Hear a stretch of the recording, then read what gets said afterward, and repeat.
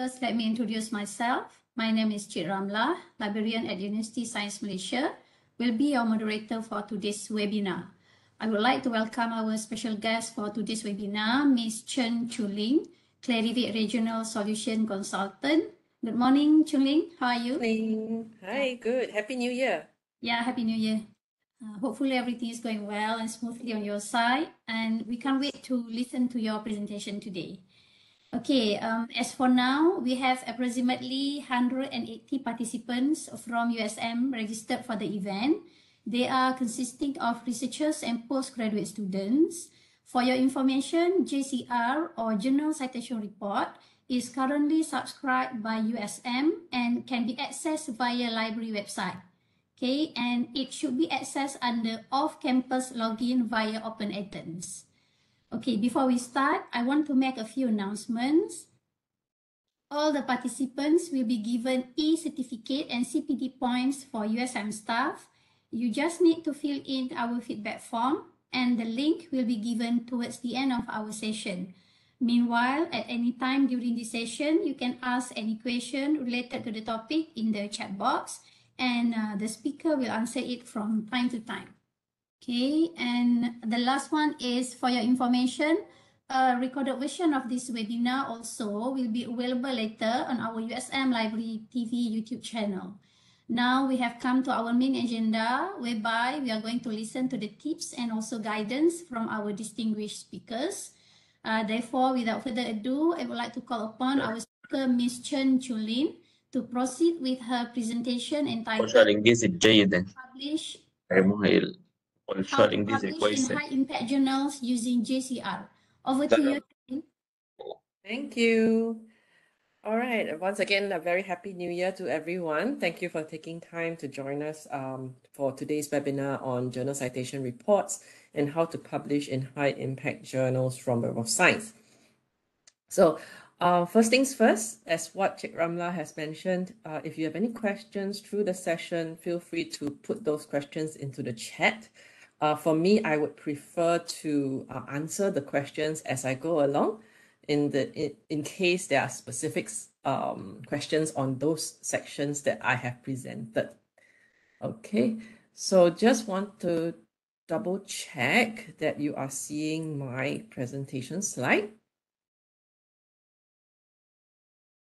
Yes, Jade Ramla can see my slide. Okay, great. Thank you for Yes, all the thumbs up. Go ahead. Okay, uh, give me a second. Let me open up the chat so that I can monitor that as well. Second. Okay. Um, so there's two options. There's a Q&A panel and there's also a chat. So um, for me, I, I'm I'm okay with either one. If you put those questions in Q&A, it's easier to monitor. But if you feel if you type those into the chat, that's fine as well.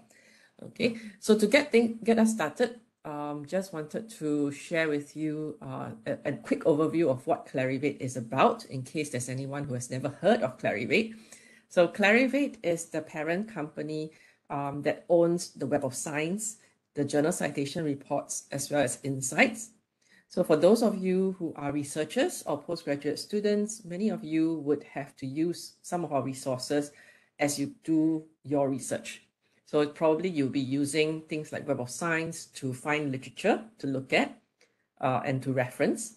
Then sometimes you might also be using EndNote, uh, EndNote 20. You might be using that to write your research paper. And for journal citation reports, which we are covering today, it is a tool to help you to make better decisions on where to submit your manuscripts for publication. Okay. So to, I wanted to share with you some statistics um, for on publishing, just so that you have an idea of the sheer number of journals and articles that you are exposed to as researchers. So this is an old report. This was in 2018, so probably four, five years old. But so definitely the numbers are increasing. Okay, so we're talking about almost 3 million papers published annually into almost 43,000 scholarly journals. And out of all these publications, we have about maybe 15,000 plus open access journals in the world. So it's, we're not talking about Web of Science yet. This is uh, in the whole world. So if in the event you're looking at things like Google Scholar, this is the number of journals that you're probably exposed to. And because of the rise of um, the pandemic, uh, there is more and more open access content. There's more open access journals as well. But with that, it comes with the risk of uh, predatory publishing. So I think one of the key questions or the main topic for today is how to avoid um, publishing your paper in predatory journals. And I also saw that um, earlier questions from the audience also had uh, questions around is it okay to reference predatory journals? So all these will be answered as I go through my session. Okay. So looking at this number, um, if you do not have proper guidance or a guideline to help you to identify or quality check the journals, you will you would be in a position of higher risk in losing your uh, manuscript if you ever published in a predatory journal. Um, why is that so? Because there's currently no law in the world. There's no law governing the publication of um, your manuscript in the predatory journal. There's no clear definition as well.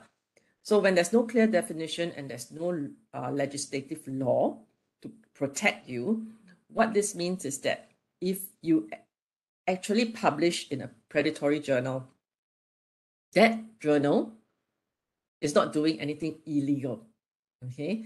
The only thing that he that journal is not doing is probably not doing a good uh, peer review process. And uh, in, in that event, if you have done your research paper for six months, one year, you publish it there, and it's, no, it's not recognized by your institution or your um, governing body, then you lose that work that you have because you cannot retreat, retract that paper once it has been published in those predatory journals. So, so what I want to emphasize here is that you have to be extra careful in where you publish or submit your manuscript to. Okay? So to, to help you, the first thing I wanted to share was a simple checklist uh, to help you to screen for the predatory journals. And this is um, uh, in addition to you having access to things like Web of Science or journal citation reports. Because sometimes you just want to make sure um, that maybe that particular journal, that local journal is um, legitimate, um, trustworthy, and so on, even though that journal may or may not be indexed in Web of Science and so on. Okay. So what is this um, checklist? The first thing is, do you or your colleagues know the journal? Okay, it's a very simple question. It's uh, it sounds very logical, right? Uh, but many times when you're under stress to publish quickly, especially when you only have what three years in in um, university, you get stressed and you get uh, pressured to publish ASAP. And when you see a very enticing uh, advertisement from the journal uh, calling for papers, saying that uh, it's going to be uh, published very quickly, you might not even go through this question in your head on whether you or your colleagues know the journal. Okay, so this is the first thing. The second one is to see check whether the you can easily identify and contact the publisher. Now there are many established publishers around the world uh, those that are big publishers like Wiley, Springer Nature, uh, uh, Wolters Kluwer, and so on. These are uh, well-known publishers. Yeah. But there are certain publishers that are quite small, There are society publishers. These are publishers that you may or may not have heard of. So it's always good to check and verify that these are legitimate publishers. Make sure that you're able to trace their address, uh, and also what they have listed on the journal is correct. Then, is the journal clear about the type of peer review it uses? Now, this is also a very important point. Uh, many predatory journals have the tendency to say, oh, uh, if you send in your manuscript, uh, we do express publishing. Express publishing um, meaning that you don't even know whether they've actually done a proper peer review. Okay, so always check um, their the content on their website to check whether they have stated the type of peer review they use. Uh, in the event that any of you have never published before or don't know what peer review is, it is a check done by other experts in the field. So let's say, for example, you are in, in um, let's say, triple E, okay? You submit your paper to a journal, then the journal will usually invite an, uh, uh, another researcher that is doing the same uh, research as you to verify that the findings on your paper is true and the results can be trusted. Okay, so this is what we call the peer review process.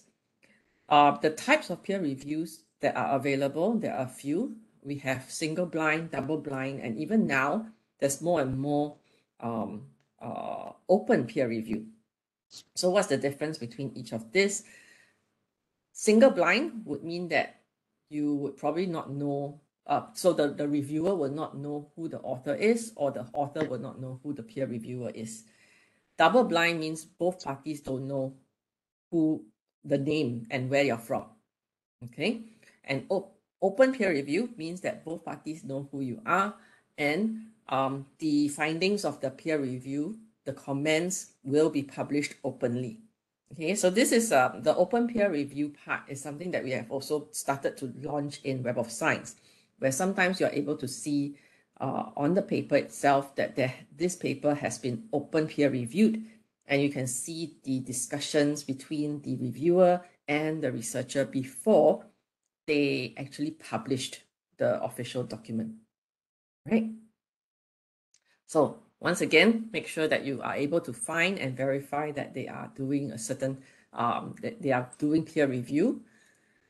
Then uh, articles indexed in services that you use okay? Uh, services that you use um, this would not include uh, Google Scholar okay? Uh, yes Google Scholar is is is one of the common services that many researchers use. But one thing about Google Scholar or even Google itself is that they index every single thing under the sun okay so the tendency of having um, predatory journals in these uh, resources is quite high because there's no proper curation in place before um, these content is indexed on Google. So when I talk about articles index and services that you use, what I'm referring to is um, databases such as Web of Science, making sure that the articles are published or indexed in the Web of Science platform. Okay. And the next thing is, is it clear what fees will be charged and what fees will be for? so open access journals most of the time, um, there will be some kind of article processing charge. Well, there are certain uh, society journals or even um, local journals that do not require an article processing charge, but most of the full gold open access journals do require some fees. The reason is because if they if they did not get um, uh, revenue from subscriptions, where can they get the revenue? Definitely from the authors, right? So definitely there'll be fees charged if you are publishing in uh, Gold Open Access journals, for example, uh, and the fees can range from a few hundred US dollars to a few thousand US dollars, depending on the journal. Okay. So make sure that um, they are clear on what fees will be collected. And some journals will also require you to pay um, things like color, color processing charges and so on. Um, so do do check whether these fees are there and declared at the very beginning. Okay. Now the next one is also is extremely important. Uh, I cannot stress this enough. Many of the journals, uh, predatory journals, like to put in um, very big names. So they might put in a lot of Nobel Prize winners into their editorial board, um, uh, advisory board memberships. Um, but what I am emphasizing here is to make sure that you, as a researcher, look at the editorial board, check whether those um, experts are relevant to the journal. That's one. Check whether we go for the next one dulu lah. uh one thing I want to remind all the audience, yeah, the session is being recorded. So if you don't want your background noise to be recorded, please mute your lines, okay? Just remember that. Okay, so back to editorial board memberships. Check and verify whether those editorial board members are indeed from the affiliations that has been declared within the journal. So let's say, for example, Dr. ABC from Ini family community care. Ada dah kan tadi community care tu kan? Ada. Uh, eh ada ke? Shaswani, Shaswani, you are, uh, you are un on unmute. Can you please mute your line? Sorry. Okay, now, um, so the example that I wanted to share was, say, for example, Dr. ABC from USM, um, Faculty of Engineering.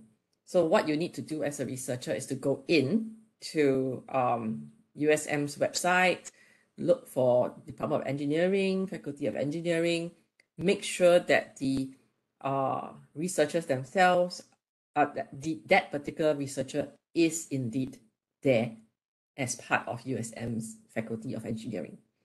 Okay.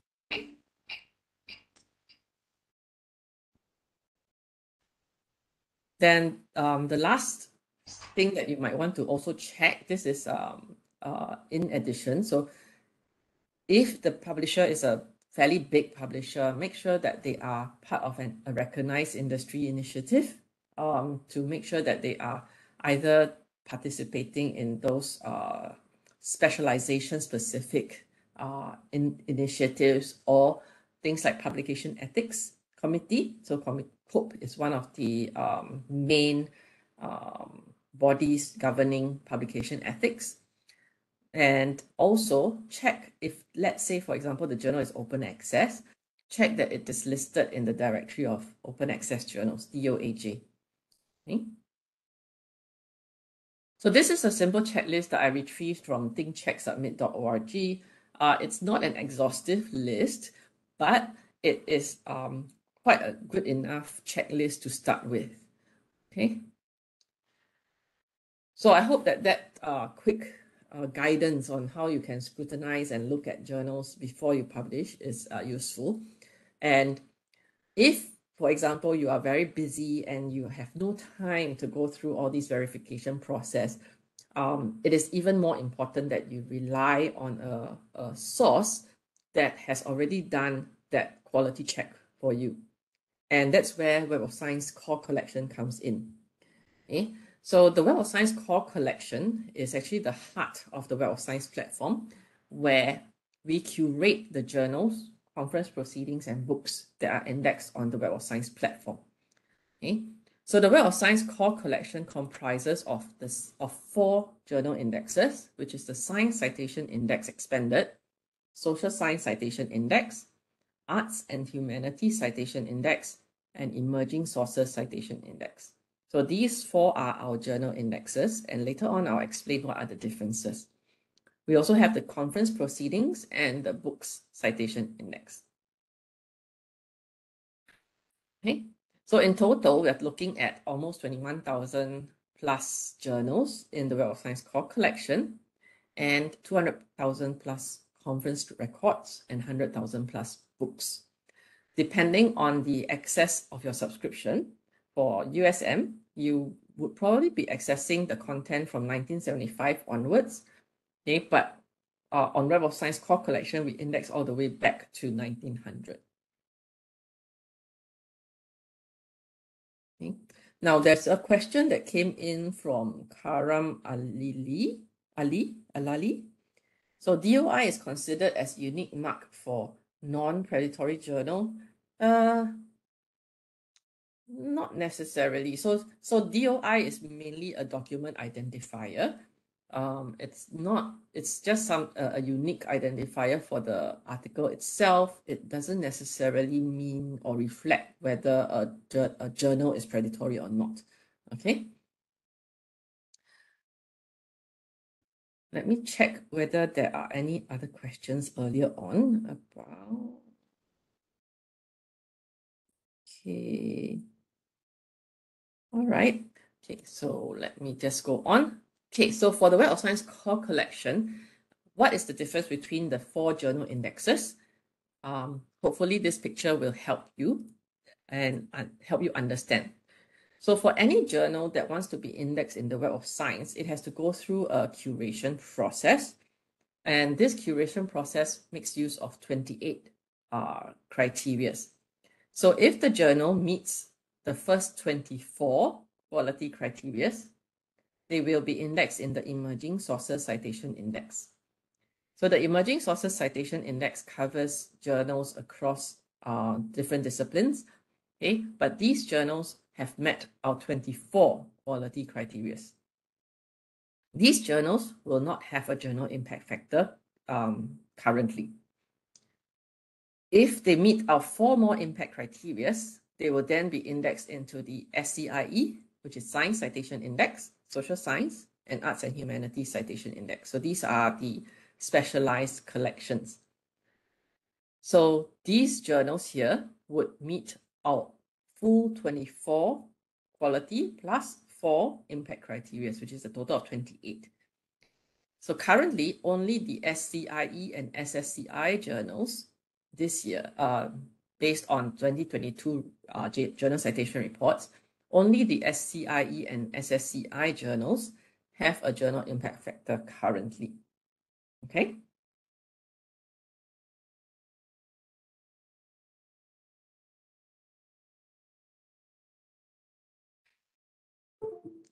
Now, when I spoke about the uh, checklist, uh, I wanted to also bring your attention to our curation process. So the 24 quality criteria and four impact criteria are listed here on the screen. If you can, if you can look closely at the criteria, many of them are actually part of that checklist that I had shared with you earlier on. Okay, so things like whether there's a presence of peer review policy, um, whether there is um, publication ethics statements, uh, the editorial affiliation details, author affiliation details, editorial board composition, um, uh, presence of peer review. So, so the presence of peer review policy versus peer review is a little bit different, where we have presence of peer review policy, meaning that they declared that they have, uh, they will go through some kind of peer review. Peer review existence means that we will look at the article itself, check um, for evidence to say to show that they have actually gone through peer review. So a lot of times now, many articles are actually showing um, the acceptance date, the um, the review date, the final acceptance date. So um, those are the kind of dates that we are looking at. Okay.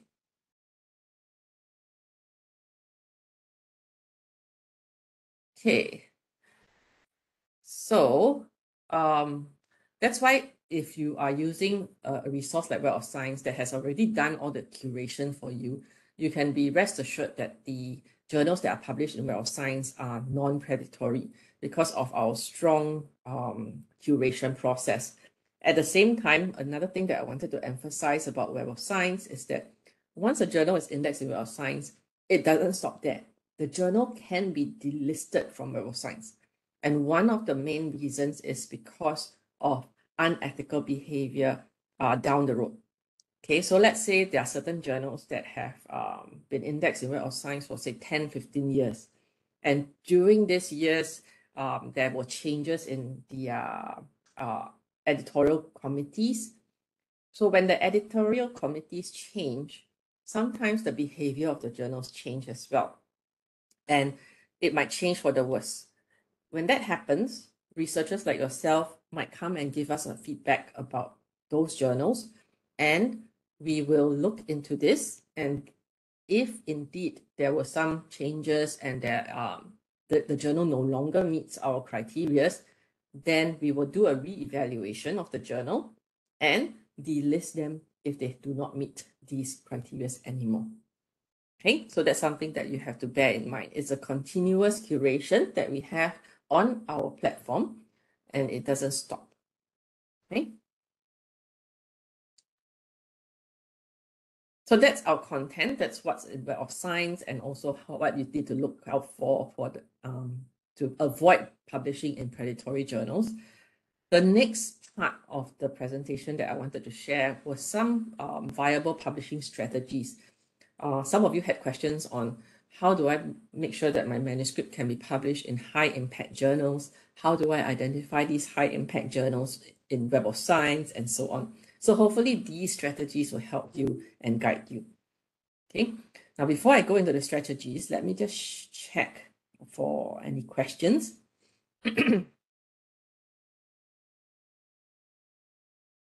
Okay, so I think Richard, you had a question that I addressed early. So uh, assuming that you have published in Predatorial Journal and you discover after the article is already published, is it possible to send the article again to a legitimate journal for publication? Answer is no.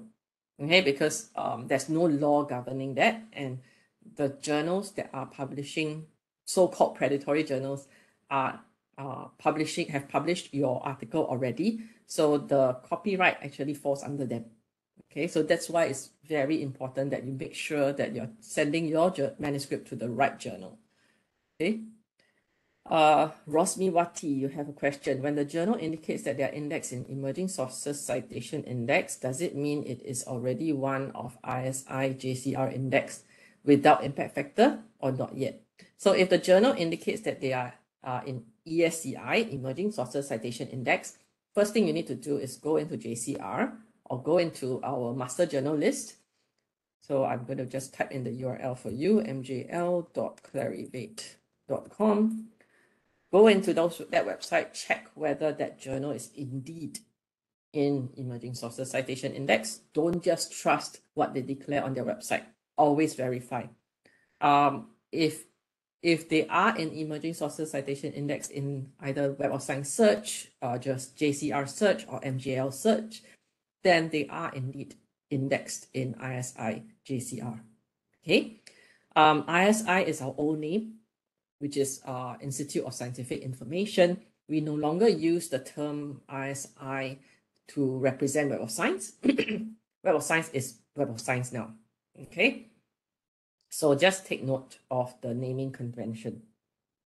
Um, Allah Abu you have a question. Do predatory journals have a rank? No, Okay, um, predatory journals tend not to have a quartile. If they do have a quartile, um, you need to check whether um, what they declare as a rank or quartile is indeed their rank in that declared database. So let's say, for example, on the website, they say, oh, we are Q1 in Web of Science. Then first thing you need to do is go into Web of Science, check whether they are indeed Q1 journals in Web of Science. Okay, um, so quick answer to your question, Allah Abu Sanat, is that usually no, predatory journals should not have a rank because they are not indexed in Web of Science. Okay. Okay, oops, oops. Okay. All right, so let's go back to the strategies. Um, now, the publishing it's kind of like learning how to swim as well to me. okay, uh, when you want to start learning how to swim, you always um, try and go to a pool where you can stand. okay, so same thing goes for publishing. Don't jump straight into the deep end of the pool. Okay, um, sometimes some, that works, but most of the time you might hit a few bumps and kinks here and there.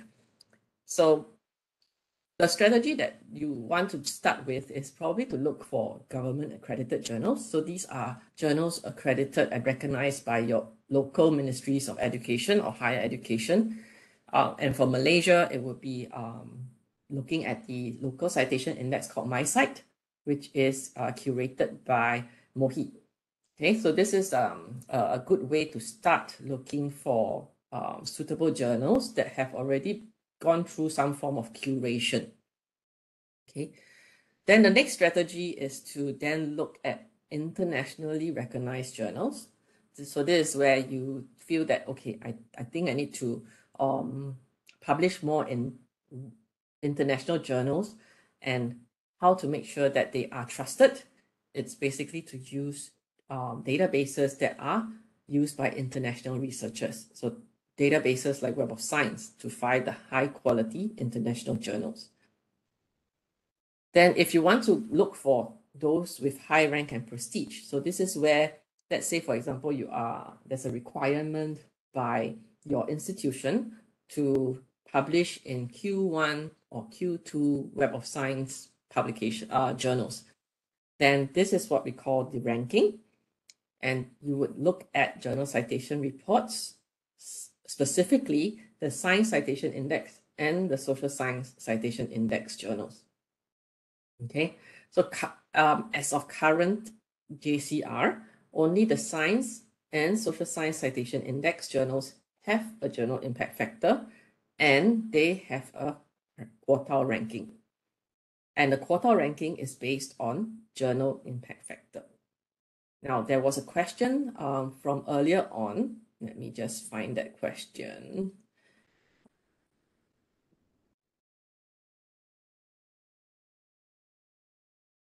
Okay, so Tan Siu Mei, um, I'm not sure whether you're here in the audience, but your question was, may I ask what is the difference between journal impact factor and JCI? And normally for ranking of papers Q1 to Q4, do we refer to JRF or JCI or both?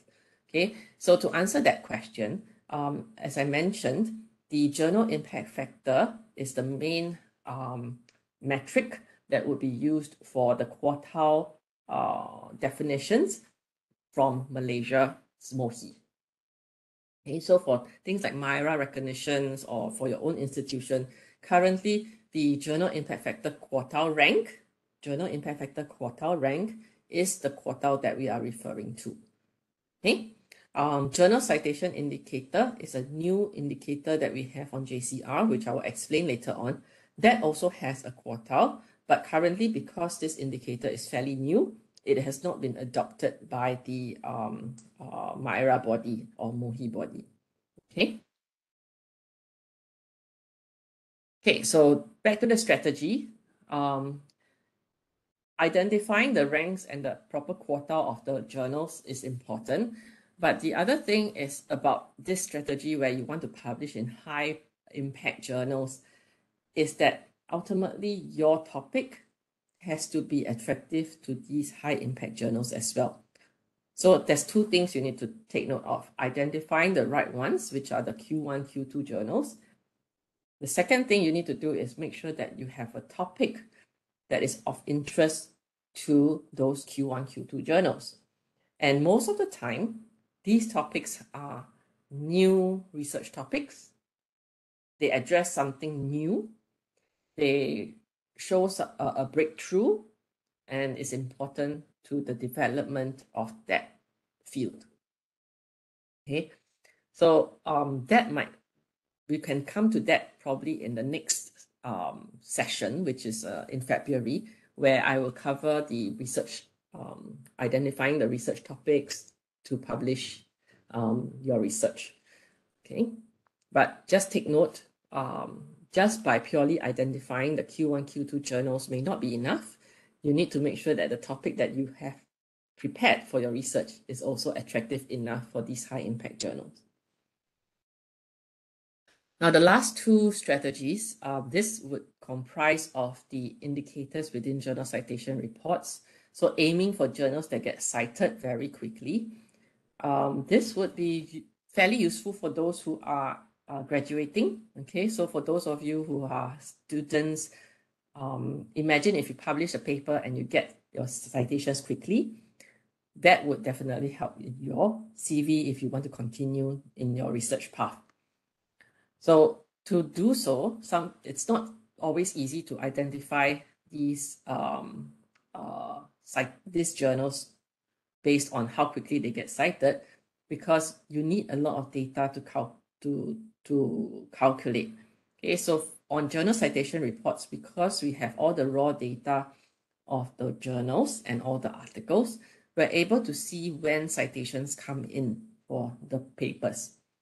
So we are able to calculate something called the immediacy index on journal citation reports. So the immediacy index is a, uh, a metric that takes the citation counts for that year as, as well as the number of papers published that year. So say, for example, this journal published 10 articles, okay, and they have 20 citations in total for these 10 papers. So you take 20 citations divided by 10 papers, that will give you the immediacy index of 2. So it means that there is a good chance that for every paper published in that journal, there is at least two citations. Okay, so this is an a, a indicator that will help give you a kind of idea on potentially whether you can get your citations in the first year of publication.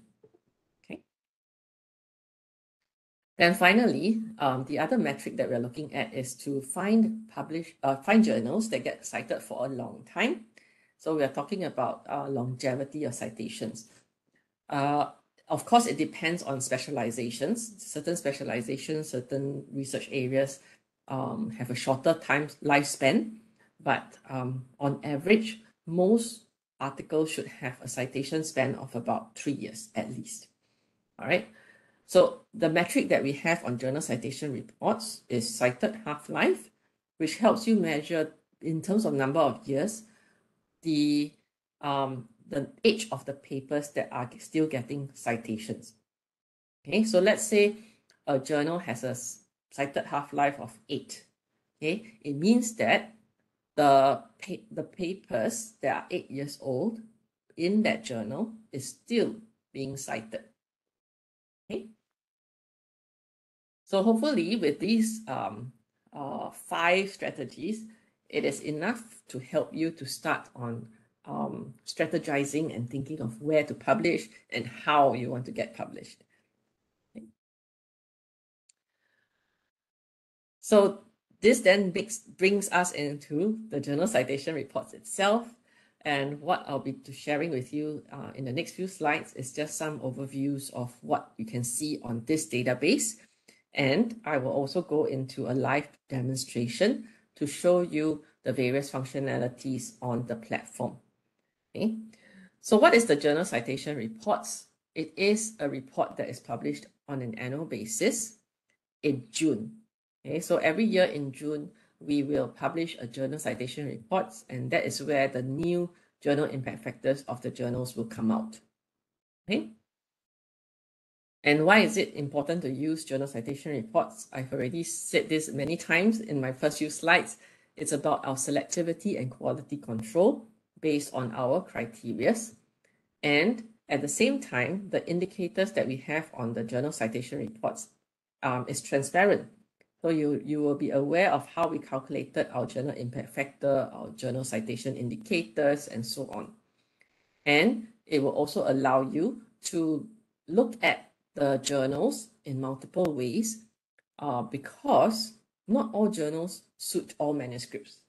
An example that I wanted to share with you was, say for example, there are two types of content. There's articles, there's review articles. Now, some journals publish original articles only. They do not publish reviews. So if you are publishing a review paper, there are certain journals that you are limited to. Okay, so that is just one example of the kinds of things that you have to consider when you're choosing a journal to publish in. So the journal citation reports um, 2022. So the latest report is the 2022 paper that was released last June. Uh, we cover about 21,430 journals, and um, these are the breakdowns for each of the specializations. Uh, you can see that there are three journals suppressed in the 2022 release. It shows you that we actually do continue to evaluate the journals, and if they indeed um, display unethical behavior, we do suppress those journals from the list. Um, if you have used JCR previously, we have uh, increased our coverage. So previously on journal citation reports, they, they only showed science and social science citation index, which is the journal impact factor journals. Um, now we cover all of Web of Science journals, which is close to 21,000. And um, one thing that I wanted to let you know was that for this year, 2023 release in June, this June, we are going to give the journal impact factor to all journals in Web of Science. So it means that even the Arts and Humanities Citation Index and Emerging Sources Citation Index journals will be receiving a journal impact factor in June. Okay. Um, the implications of this on the quartiles has yet to be finalized, but um, we will definitely be sharing more details with you as our product team uh, releases more details. Okay, so just take note, the good news is that all journals will have a journal impact factor, but um, the quartiles may differ depending on the health of their journal impact factor. Okay. But in the meantime, for to for now, the those journals that currently do not have a journal impact factor on JCR, you will still see the other indicators available. So things like journal citation indicator will be there, um, immediacy index, which I mentioned earlier on, cited half-life. Okay, uh, I will not explain every single indicator now because um, immediacy index and cited half-life are usually the, the most relevant ones that I always recommend to researchers. Uh, eigenfactor score and article influence score is mainly used to show uh, how influential the journal is in the community of um, journals on Web of Science. Uh, because the higher the score for these eigenfactor score or article influence score, it shows more importance for that journal. Okay.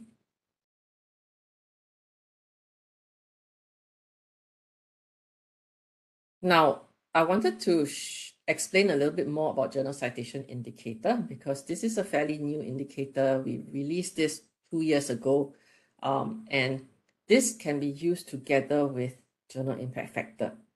Okay, so the journal impact factor, JIF, is um, a journal level metric. So that means we took look into the citation counts for the journal as a whole, um, and also the the content that it publishes. The journal citation indicator, on the other hand, is a article level metric. So what this means is that we are looking at every single article published in that journal. The, there will be a performance measurement given to each article in the form of CNCI. So the, uh, the measurement that we use is category normalized citation impact to show how well those articles are cited. We will take the CNCI of all the articles and reviews in that journal and average it out across three years. And that is your journal citation indicator. So how do you read this?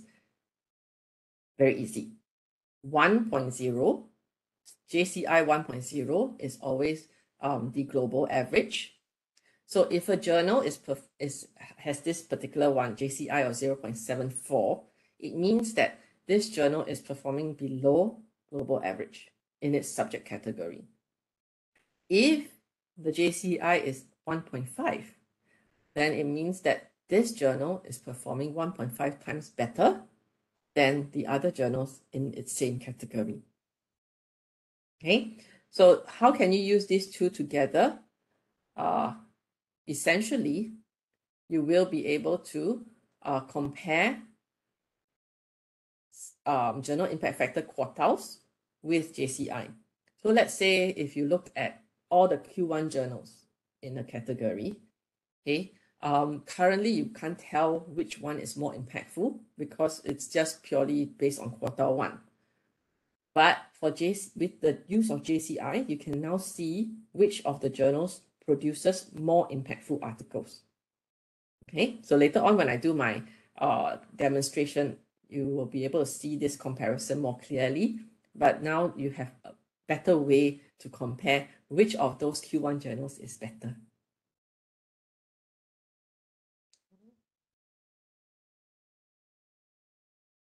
Okay, I mentioned about the additional metrics. So you have the immediacy index and other metrics that you can look at in JCR. Uh, you can also look at open access. So uh, within JCR, we, each of the journals have their own journal profile page. And within the journal profile page, you will also be able to see the open access breakdown. Some, some journals are full open access, some are not, okay, but they do produce some um, Gold open access content.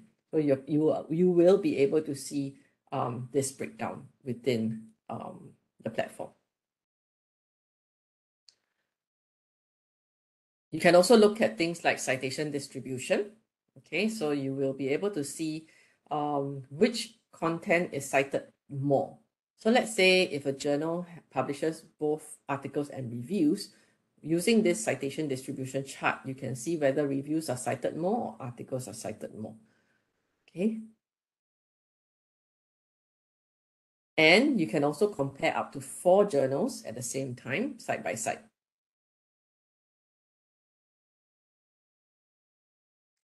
We also introduced new ways to browse the data. So we have um, grouped the categories into um, subject groups. Now, the Web of Science uh, journals are categorized into 254 subject categories. So this grouping by subject allows you to drill um, from a more broader uh, subject categorization into the specific Web of Science categories. You're also able to uh, you're also able to browse by publishers. You are also able to browse by um, countries.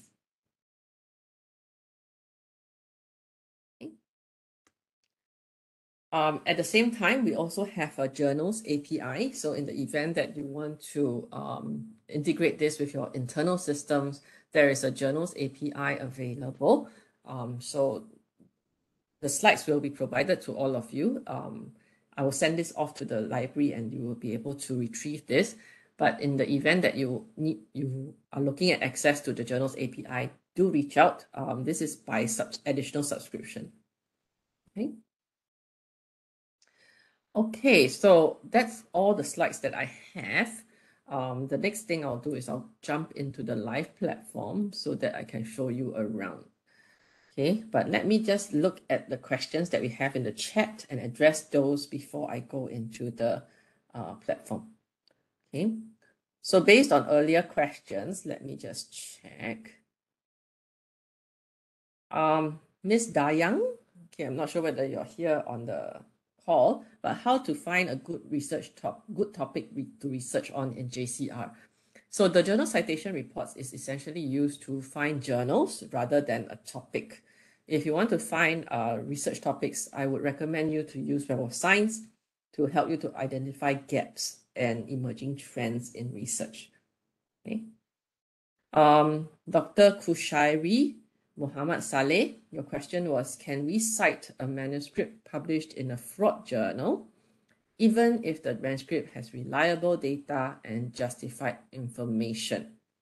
Okay, my question back to you is if it's a fraud journal, how are you sure that it is reliable data and justified information? Provided there was, was there peer review done? That is the question. So there is some articles um, published uh, uh out there around uh, citation contamination. Now, there's, this is a, a where a lot of researchers unknowingly cite articles from predatory journals.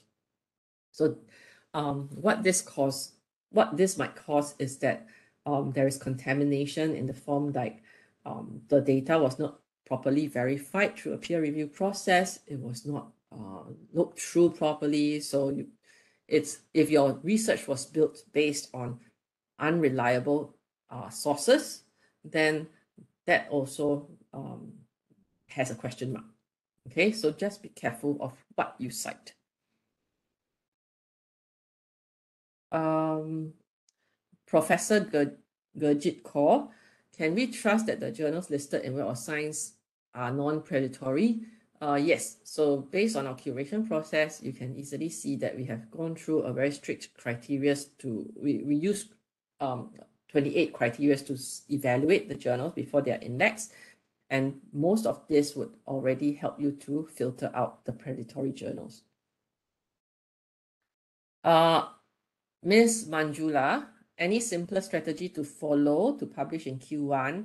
Uh, I think I shared that in my strategy. So find the right journal. So if you're publishing a review, find the right Q1 journal that publishes review papers. And of course, make sure that the paper that you write addresses a need or a gap that other research currently does not uh, fulfill. Okay. Um, Dr. Andy Anderson Berry, your question is it worth publishing a research article with the publisher, example MDPI, with high article processing charges? Uh, how about an excellent publisher with journals uh, in AHCI or ESCI? Um, this question is a bit hard to answer. Uh, whether it's worthwhile publishing in a, a journal that has a high article processing charge I guess it depends on whether it is widely read. Um, you would want to look at the readership. You also want to see its influence on the research community um, and whether the content of those journals are being cited by um, Q1 journals respectively. Okay. Um, okay. Answered the rest. Let me see if there's new questions. Uh, da, da, da, okay. Lee Chin Yu, you have a question. Any impacts towards us if we publish in a journal that is removed or discontinued? Uh, I think that's a very good question and probably a question that has to be answered by your research office. Okay. Um, in the year of publication, if it is still indexed in Web of Science, I believe most institutions still recognize that uh, article to be in that journal. So let's say, for example, your article was published in a journal in 2021, and in 2021 it was still indexed in Web of Science, then that would still be a recognition. Okay, but if let's say you have published, you you submitted your paper to this journal um, in 2022, and um, just this month it got delisted. Okay, but your paper has not been published yet then um, probably there will be no recognition. That means it's not accepted. Okay, so so just take note of the indexation date and um, uh, delisted date.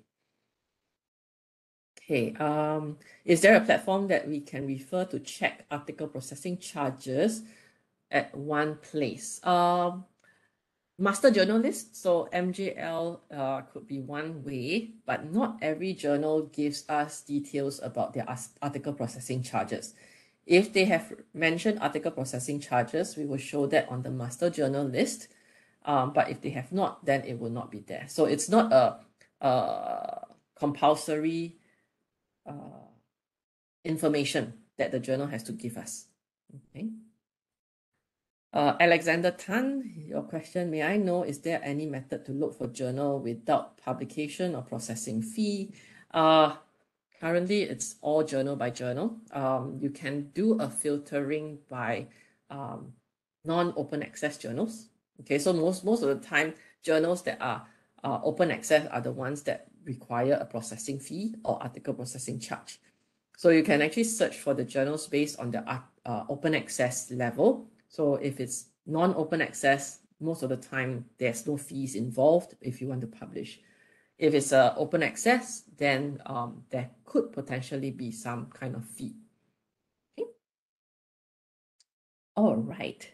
So I think that's all the questions in the chat. Uh, let me just go to the live platform to show you around. Uh, before I show you journal citation reports, um, I just wanted to also show you Web of Science fairly quickly okay, to uh, because Web of Science itself has some features that helps you to identify specific journals for a specific topic. Okay, so say for example, um, now you are in um, doing a research on hydrogen energy storage. Okay, you want to know which journals are publishing this topic. Okay, so if you're very specific in your research topic and you want to find specific journals, okay, this is the method you can use. So go to Web of Science, do a document search on the topic. So what I like to do is just do a quick search on hydrogen energy. It, it doesn't matter whether you want to put in parentheses, no parentheses, it's up to you. Um, parentheses would help you to define that you need to see this exact term um, in the text. Okay. Uh, otherwise, you can also use Boolean connectors like near, so near, okay, to help you to define your search term. Okay, so let me try this search. So now I have 92,000 plus results um, on hydrogen energy. Um, but to make sure that I'm looking at the most relevant ones, there is this thing called Citation Topics Meso that is newly launched in Web of Science, where we have used this thing called Citation Topics Clustering, where we are looking at all the articles that are co-cited together. Um, you can also uh, see that those papers that are co-cited together start to form topic clusters. Okay, and we have built these topic clusters into things like hydrogen chemistry and storage, cat catalysts, photocatalysts, and so on. So if your research is on uh, hydrogen energy storage, uh, I think this one would be the most relevant. So I can select this topic and refine this. So I'm only looking at the, the storage capabilities. So with this, I can do an analysis. I can click on Analyze Results. Okay. And I can find the publication titles. So the publication titles here that are in Web of Science that publish hydrogen energy storage research is here. So we have uh, International Journal of Hydrogen Energy, Journal of Alloys and Compounds, Physical Reviews, Journal of Power Sources, and so on. So this is a, a more specific way to identify the journals in Web of Science that you can use for your specific topic. Okay. Um, Le Lenovo, you have a question on what is the application of near in searching. Okay, the reason why I put near is so that uh, I can find hydrogen within five words of energy. So that means it could be uh, hydrogen less solar energy. Okay, and that that that um, result will still surface. Okay, so um, close, that means they are in close proximity of each other. Okay. Okay, so this is the the the um, feature that I wanted to show you on Web of Science. So coming into journal citation reports, this is where you start to browse the journal itself, the journals itself, um, based on specific categories rather than a topic. Okay, so if you want to look at journals in a specific category, you can go to categories.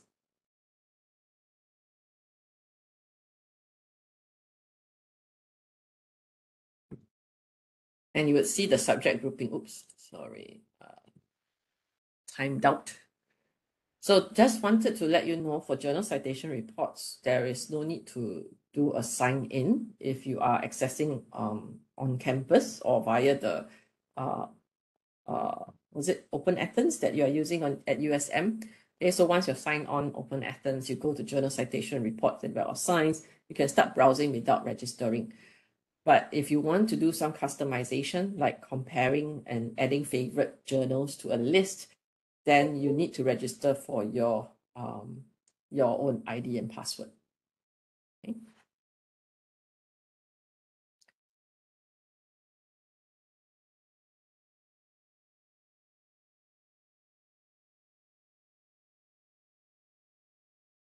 Okay, so here uh, are the groups, subject groups that we have. We have these broad subject groups. So let's say you are in economics and business, then this would be the 21 Web of Science categories that you have. So if you are looking for uh, economics journals, okay, you can click on economics.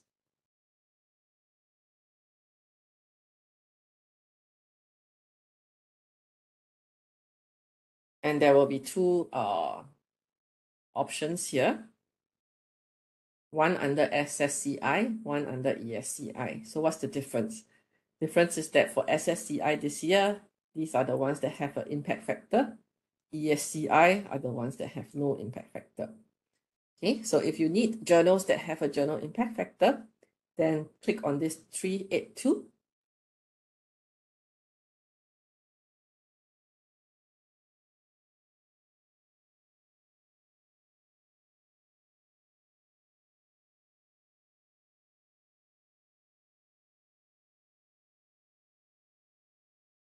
Okay, then you have two, 382 journals here that have a journal impact factor.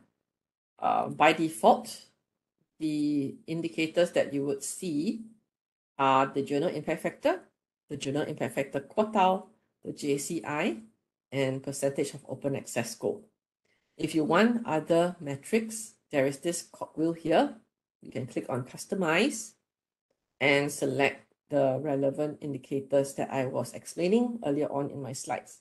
So things like cited half-life, uh, immediacy index, and another one that I did not explain is percentage of articles in citable items. Okay, so we can apply. And you would see these indicators here. Okay, so uh, let me explain percentage of articles in citable items. The journal's impact factor is calculated based on citation counts divided by citable items. Um, the citable items are articles plus reviews. So only document types that mention um, article and review will be included in the calculation for journal impact factor. So what does this mean? It means that um, here, for example, this journal, American Economic Review, okay, percentage of articles in citable items is 100%. It means that the, all the content is original article. So if you're writing a review paper, this might not be the right journal for you. Okay, same thing goes here for 99%, which is uh, articles. Okay, and then you have 82%. So it means that close to 17% of the articles, uh, 17% of the content is reviews. Okay.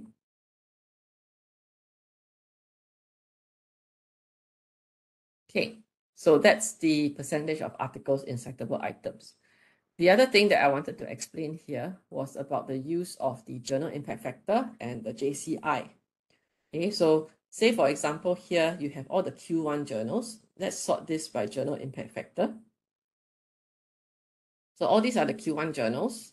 And what you can notice here is that, say, for example, um, let's look at this one. Okay, so say economic geography. It is higher journal impact factor than this one, Journal of Economic Literature. But if you see the JCI, the Journal of Economic Literature has a greater JCI compared to economic geography. So the articles that are publishing here in Journal of Economic Literature is performing better than this other journal. Okay, so that's how you can start to use both the journal impact factor and JCI in your uh, considerations. Okay, uh, Lenovo, you have a question um, if we want to know the title of our paper is new, um, if you're referring to whether your, the research topic is new, um, I think it has to be worked the other way around. So before you even start writing your paper, um, you need to do a comprehensive literature search to find out what are the gaps in that research topic. It's only when you find that research gap then you can define a topic that is new to help advance research in that topic, that field. Okay. Okay, Ma Yuan, when I search for authors with more articles or high citation rate in Web of Science, I will find that the analysis results in Web of Science will regard different authors with the same abbreviation as the same author. Is there any way to find authors with high citation rate in a certain field? Um, so probably this is a question that will be addressed in a later session, but we are working on uh, Web of Science researcher profiles where we have included things like the author impact beam plot for um, authors. So we are show we we are working on being able to search for authors based on their citation performance um, uh, around things like percentile performance, average percentile performance, H index, and so on. Uh, but currently, um, there is no way to, to search for those authors specifically, uh, but you can search based on the article uh, and then be able to find which are the researchers that are publishing more in that area of research. Okay.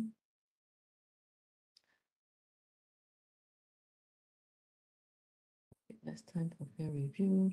Okay, so you have another question here. Um, for the understanding of and did not published so far, do we have to search in all journals in Web of Science or searching in Scopus is enough? Um, okay, so so because I represent Web of Science, I would say search in Web of Science. Okay, but uh, of course you um you would want to search in trusted sources. So those that you have mentioned, um, except for Google Scholar, should be a, a good and reliable source for you to search. Okay.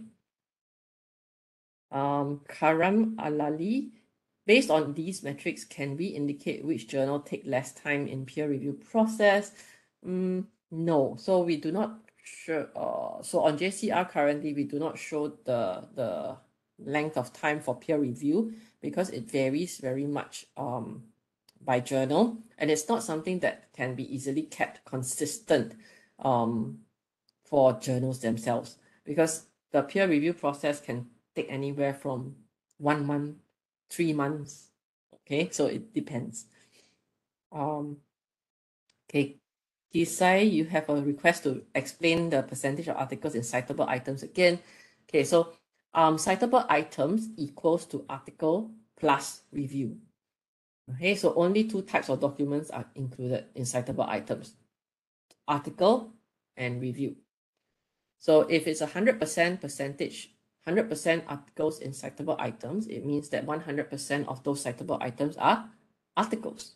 So it means that this journal does not publish any review paper. Okay, I hope that helps to explain. Uh,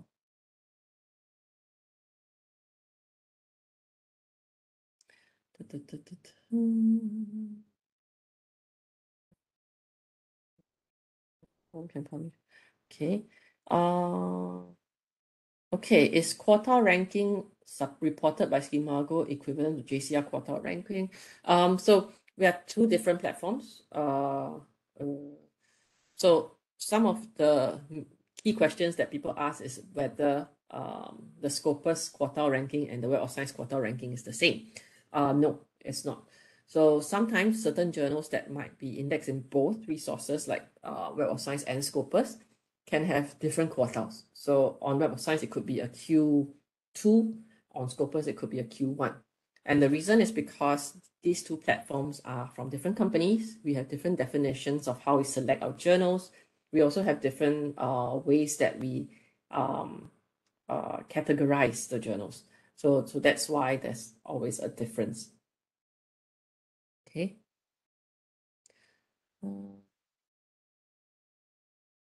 Okay, uh, Cho Fun Tang, um, you wanted me to show you the search for articles by topic. Uh, later on, if we have time, I'll show that to you again. But otherwise, you should be able to review the recording and see that that particular part again. Okay. Uh, okay, so coming back to the uh, JCR platform. So I've explained all these different uh, indicators to you. Each journal has their own journal profile page. So you can actually click into, say, for example, this journal, Quarterly Journal of Economics, and see the profile. Okay, so everything, almost everything you need to know about the journal is here. You can see uh, the publisher's information and address.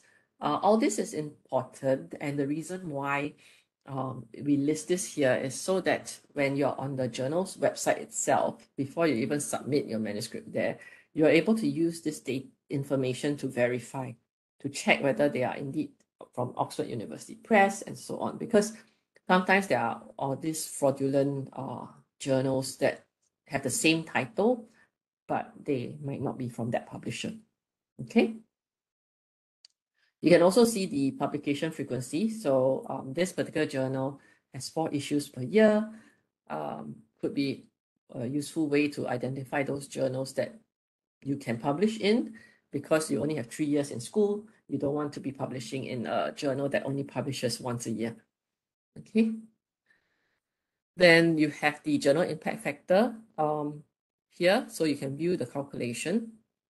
So we are transparent in our calculation of the metrics. You can see the citable citation counts as well as the citable items. Okay. You can also look at the five-year impact factor trend and also the citable items list. And from here, you can actually click through and click to view in Web of Science to view the abstract. Then you also have the journal citation indicator. Uh, so this journal has a cite, uh, JCI of 6.8. Uh, it will mean that this is performing 6.8 times better than the other journals in this category. And this is the citation distribution that I mentioned in my slides, open access. Um, the ranking, this is where it come, becomes a bit confusing and I want to repeat this. So the ranking that we recognize so far by MyRA and uh, MOHE is the journal impact factor ranking. Okay, so for journal impact factor ranking, this journal is a Q1 journal. Okay, and how we define the quartile is as such. So say, for example, here we have 381 journals in SSCI for economics.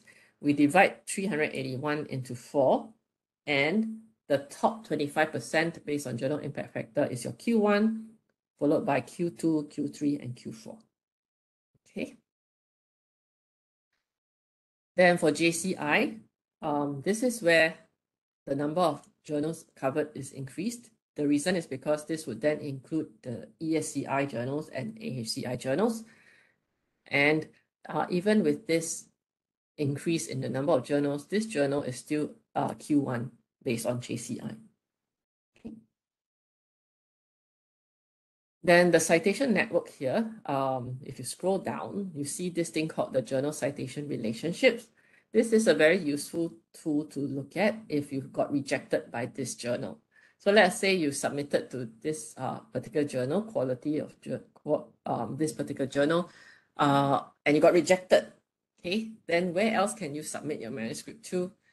You could look at these other journals that have a citation relationship with the original one that you were looking at. Okay, so these are your alternatives. Plan A, plan, plan B, plan C, plan D, and so on. Okay. And uh, if you scroll down further, you also see contributions by organizations, contributions by country. It, this would help you to see um, whether the content is very uh, Europe-centric, US-centric, or international. Okay? Because if your research is very Southeast Asia focused, regional focused, um, but the content here is contributed mainly by um, Europe, US, and so on, then it might not be very relevant. So that is something that you might want to consider. Okay. Uh, the other metrics here, I will not explain in detail, but you can always click on learn more to get a more detailed explanation. Okay. And this is the immediacy index. Okay.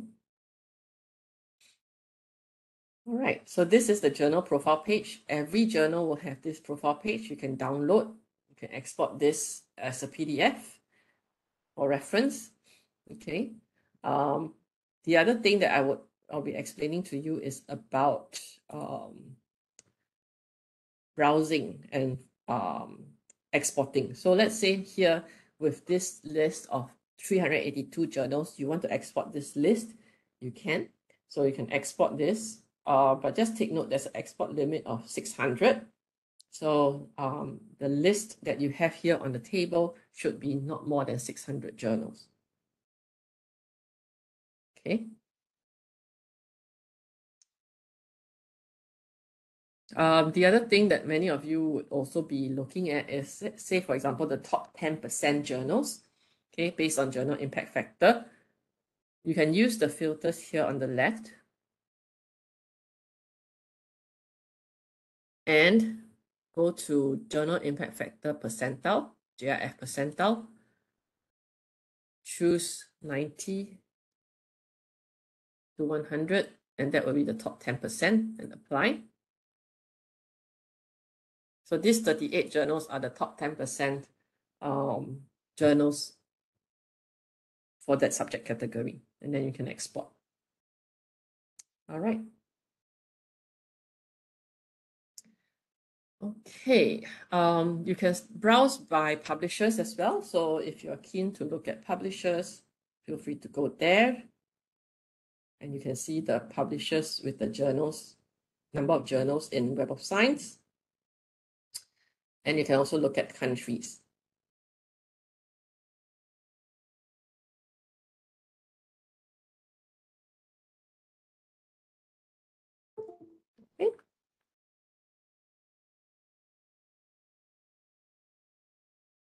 Right. And that's all that I have. Uh, in the event that you have further uh, need for training or need more support, there's always a resource center here. So this purple color question mark is a resource center. We have uh, product updates that you can refer to. You can also look at guided tours. So we have um, tours here and uh, help. Okay, this is uh, where it gets, this is very important. Okay, you can always refer to the help guide to look at the suppressed titles. So we have a list of titles that we suppress that we list down here under the help menu. Okay, so title suppressions are here.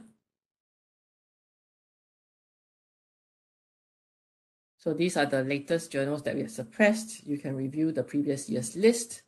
And then we also have editorial expression of concern. It means that they have been issued a warning letter, but they have not been delisted yet. So perhaps this would be um, titles that um, of concern. Okay. So this tool is very important um, for you to refer to. Okay. Otherwise, there are also additional training resources that you can always refer to right here.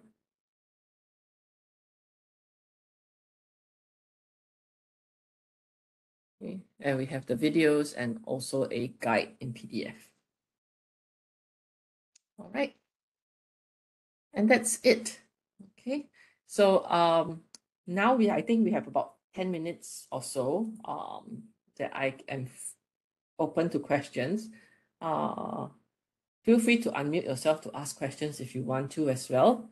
Um, and we can take those questions. Otherwise, if no, if you have no questions, um, do follow the instructions provided by the library on how you can access the resource and also how you can get your CPD points. Okay. Let me see. Any questions that I missed in the chat? Let me have a look. Okay. Otherwise, anyone else have any questions? Just type the questions in the chat.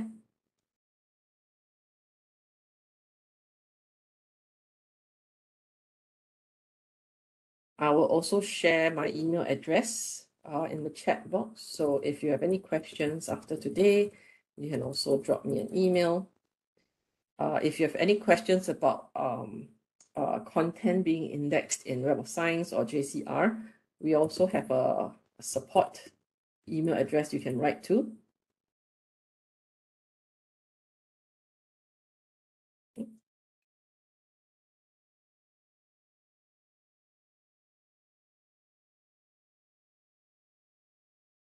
Okay, uh, Alexander, you have a question. May I know if we should follow the JIF or JCI ranking? Uh, as I mentioned, just follow the JIF ranking because that is uh, the ranking recognized by MyRA and MOHE, and also your institution. Okay. Okay, so I think a lot of you are asking about the ranking. Uh, we always use journal impact factor rank. Okay.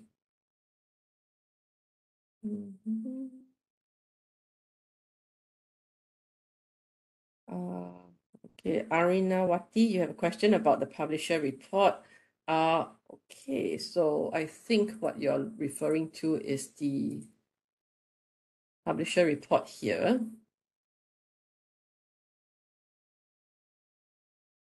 Okay, so this um, publisher's report leads you to the InCites analysis about this publisher. So if you click on this, it takes you to our other platform called InCites, which I believe you still currently have access to.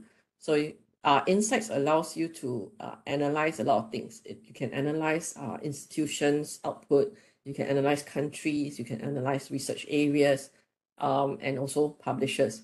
So by looking at this publisher report, you can see that um, what is the total number of papers published by this publisher in Web of Science, how much of it is open access, and also the most cited documents. Okay, then um, under organization publication profile, this is where you can look at your contribution to this publisher. So let me just find university science, oops, science. Okay, USM, Okay. So this is USM's contribution to Springer Nature journals. Okay. And this is uh, your contribution. 0.11% of your published documents are in Springer Nature uh, journals. And this is the citation um, distribution. Okay. So this uh kind of helps you to see uh everything about a publisher, but also your institution's contributions to that publisher.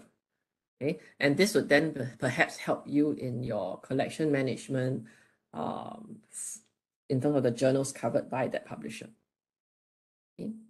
Since we are here on InCites, um, just one thing to note, if you want to explore more on InCites, you have to register for your own account. So um, do log in via OpenAthens to reach InCites and then register for your own ID and password.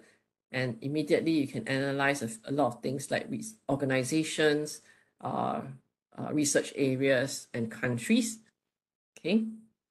And it is also a very quick way to export um, the list of journals from journal citation reports because on JCR itself, there's a limit of 600, whereas on InCites, there is no limit. Okay, so say, for example, you go to publication sources.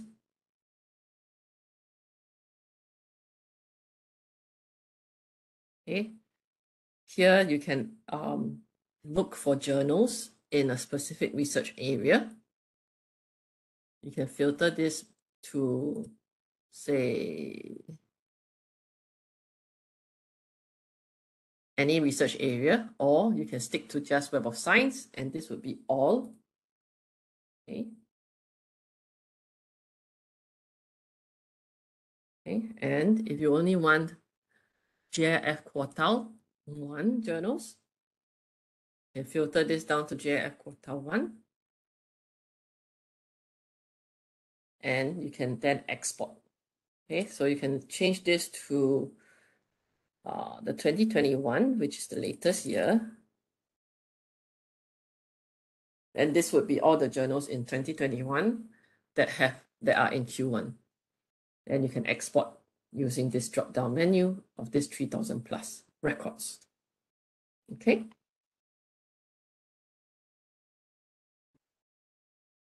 Okay, and that's all I have for you. Doesn't look like there's any additional questions.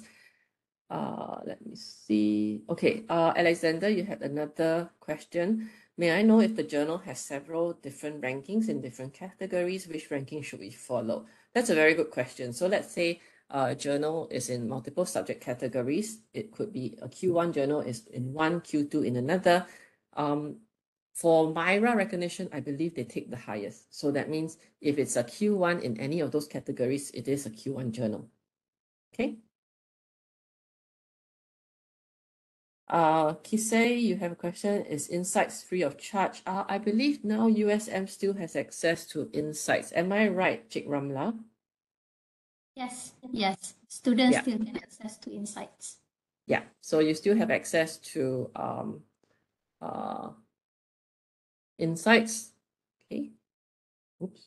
No, Rafida, you wanted to share content?